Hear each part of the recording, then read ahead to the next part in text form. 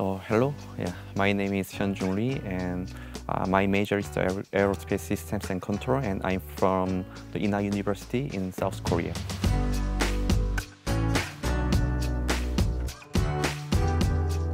The reason why I choose ISAE-SUPAERO is the because of the diversity of the majors. In Toulouse, there are so many aerospace companies. There's a strong connection between the industries and the school. In ISAE yeah, there's a drone laboratory. First of all, we can learn the theory and we can apply to the real drone and we, we can make the code and test it. It was quite impressive moment for me.